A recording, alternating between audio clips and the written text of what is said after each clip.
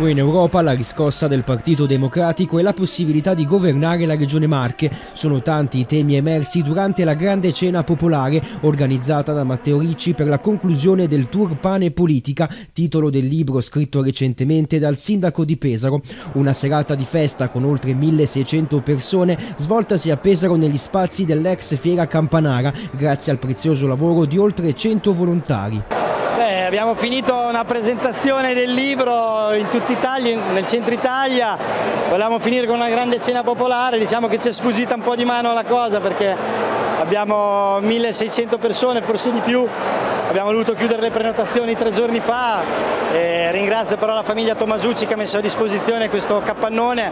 è stata veramente una serata unica perché sono persone che hanno dato un loro contributo a,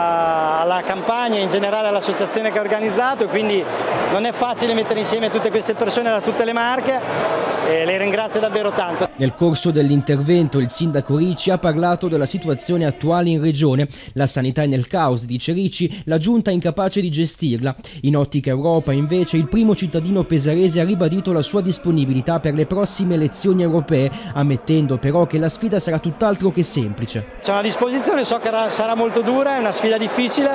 però noi le cose facili le lasciamo agli altri e quindi siamo pronti a pedalare a testa alta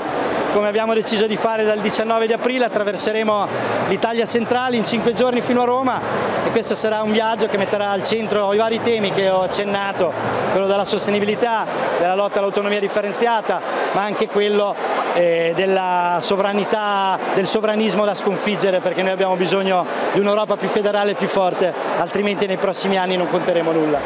Grande sostegno per Biancani, quale sarà il futuro di Pesaro?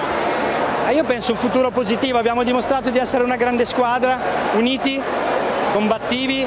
eh, uniti all'interno del PD, uniti nella coalizione e, e quindi siamo, credo che ci siano tutte le condizioni per vincere. Poi Biancani è un candidato popolare, conosce a menadito le questioni della città, è un ottimo amministratore, sta facendo un'ottima campagna e io quindi penso che qua le cose andranno bene. La destra pensava qua di dire, spugnare l'ultimo fortino, invece qua batterà il muso e da Pesaro partirà la riscossa per le Marche.